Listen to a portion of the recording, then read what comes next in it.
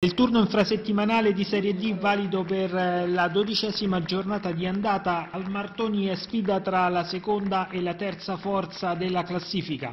Il Monterosi recupera Farasca in estremis e lancia il neo arrivato Giuici dal primo minuto dopo il gol di Fregeni al debutto. Nella Nusei in campo l'ex Nannini, mentre in panchina gli altri due ex della giornata Quadrana e Rausa.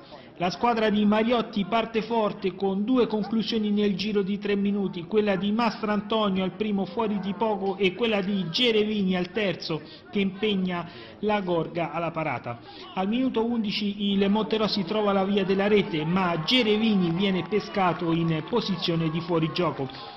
Al diciassettesimo altra rete annullata al Monterosi, taglio eccezionale di eh, Mastrantonio per l'inserimento di Rasi che trafigge la Gorga, decisione molto discutibile quella adottata da Pascariello di Lecce.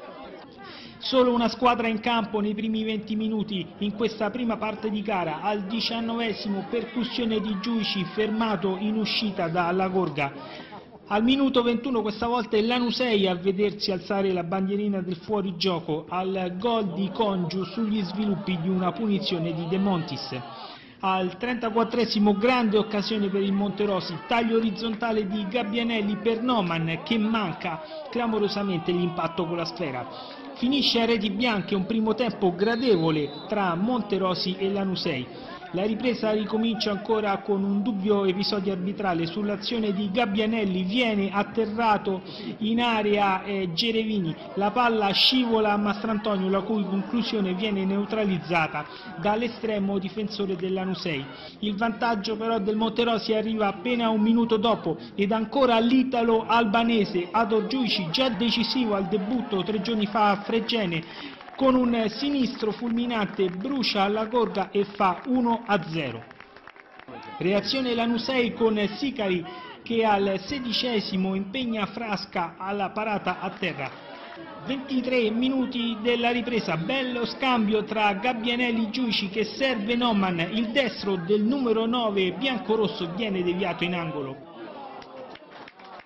Alla mezz'ora l'episodio che fa discutere Monterossi rimane in 10 per un fallo da ultimo uomo di Gasperini su Sicari.